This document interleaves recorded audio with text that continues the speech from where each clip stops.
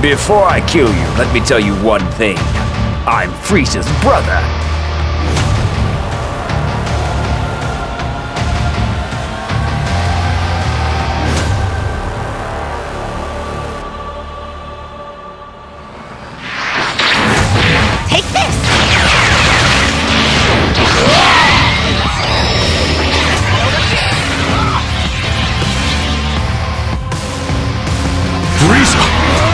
Wait.